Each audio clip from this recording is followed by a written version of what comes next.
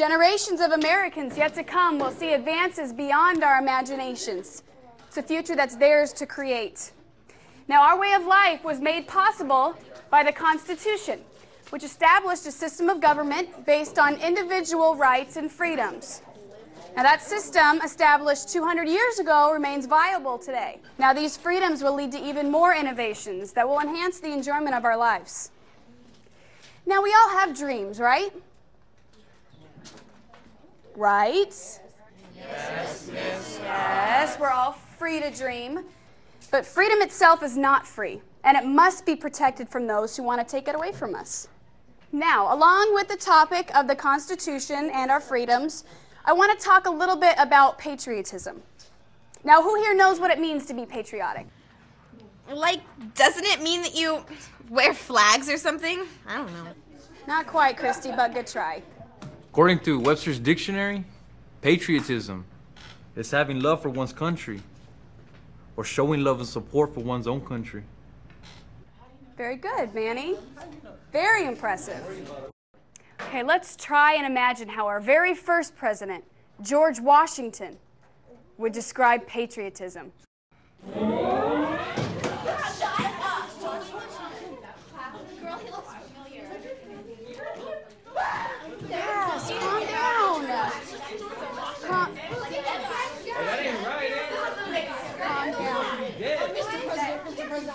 Bernard, sit down. Sit down. Class, calm down. Mr. President is just here to explain the Constitution. There's no need to get hysterical. Mr. President, please.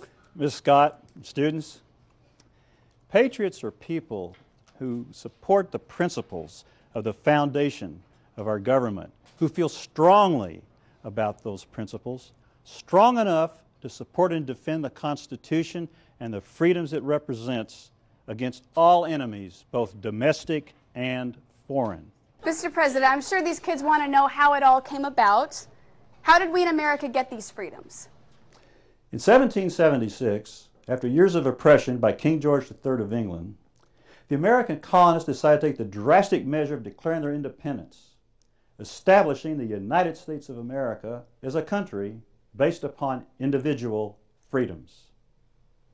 After a long war, independence was won, and a new form of government by the people and for the people was formed when the Constitution was written and ratified, stating, We, the people of the United States, in order to form a more perfect union, establish justice, ensure domestic tranquility, provide for the common defense, and to promote the general welfare, and to secure the blessings of liberty for ourselves and our posterity, hereby ordain and establish this Constitution for the United States of America. So, as I understand it, the Declaration of Independence stated our right to determine our own destiny. It said we are all created equal, and we are endowed by our Creator with certain unalienable rights. That among these are life, liberty, and the pursuit of happiness. That's right, Ms. Scott. Our Constitution establishes our freedom, our liberties, and lays out the structure for our government. But when the Constitution was written, several patriots, including Patrick Henry, were very concerned that it did not contain a specific list of freedoms that were protected. Compromises had to be reached in order to gain the support needed. In order to get the required number of states, nine, to ratify the Constitution. And this is how the first 10 amendments, the Bill of Rights, came into being. Okay, so does anybody know who Patrick Henry is? Manny, why don't you go ahead and stand up for the class and tell them who Patrick Henry is? Simon, I know that dude. He's one of the main vatos who led the movement to attain the Bill of Rights. He was an OG.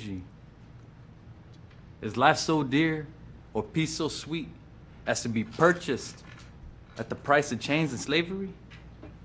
Forbid it. For I not know what course others may take, but as for me, give me liberty or give me death. Patrick Henry. Wow. Fantastic, Manny. Miss Scott, uh, don't try to tell me that Patrick Henry's about to come up in here too. I know that's That'd just be crazy. Ne- never mind. Well, take a look right there.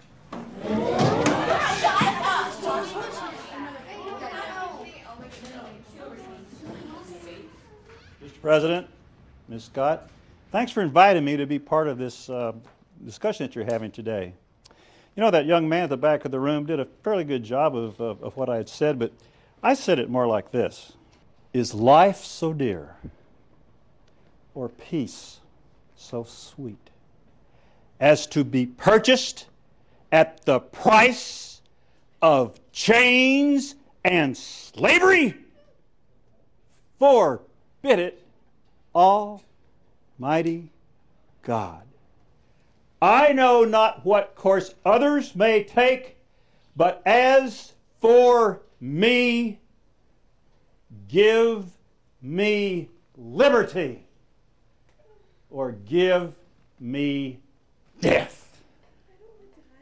You know, after your Constitution went to, going through the stage of being adopted, I became very, very concerned. Many other founding fathers were afraid of this document because it did not contain a listing of individual freedoms. Now, those who favored the Constitution thought these freedoms were understood. But I was concerned that future generations might be trampled under by a despotic federal government. History has proven that some of my concerns and others of the founding fathers were valid. Now, who would like to help me make a listing of these 10 amendments, which you now know as the Bill of Rights? Well, I can see that I'm on my own here. Well, your First Amendment guarantees you the right to freedom of speech, religion, the right to peacefully assemble, and the right to, pro- to protest against your government if you feel your rights have been violated. The Second Amendment gives you the right to bear arms. The Third Amendment establishes freedom from having to house a soldier in your home unless in time of war. The Fourth Amendment protects America from becoming a police state. Citizens are protected in their homes from unreasonable searches. A warrant must be issued for probable cause. The Fifth and Sixth Amendment has become known as the I plead the Fifth, double jeopardy, or due process amendments. They must warn you if you're going to be arrested. You are read your rights. You call this today the Miranda rights. You have the right to a fair and speedy trial and to know what the charges are against you. The Seventh Amendment reserves the right to a trial by jury in a civil case. And the Eighth Amendment gives you protection from excessive bail, fines, and cruel and unusual punishment. The Ninth Amendment basically says that if some of the rights haven't been named, it doesn't mean that you do not have those rights. And the Tenth and final amendment says that all the rights that are not reserved to the federal government are reserved to the states. If Patrick Henry and others didn't fight to get the Bill of Rights added, our country could have turned out very differently. Some amendments were passed after the Bill of Rights were added to correct injustices that were overlooked by our founding fathers. Like what, Miss Scott? Well, like slavery. The founders allowed that to continue because they couldn't agree on it. So the country had to fight a civil war before that practice was outlawed with the passage of the 13th Amendment. Now, soon following, the right to vote, regardless of race, color, gender, and age, was also added. And along with those freedoms come some responsibilities. As Americans, we have responsibilities to our community and to our nation. And first among these is the necessity of being responsible citizens, students, and patriots. It means we should be taking advantage of all educational opportunities to learn as much as possible so you guys can become anything you want to be. What do you guys dream of becoming? I want to be a scientist, I want to be an engineer. makeup artist. A statesman. Okay, so no offense, Miss Scott and um, Mr. President, but this all sounds real old-fashioned to me. I mean, a lot has changed since 1776. It doesn't seem like we even need patriotism and the Constitution anymore. Some people may try to convince you of that. But the fact is, we need it now more than ever before. There continues to be challenges to our way of life and to our freedoms. Does anybody know how we can lose our freedoms? The only way that we can lose our freedoms is if we let it happen. Exactly, Manny. Only if we let it happen. By not appreciating the freedoms we have and for failing to stand up to protect them.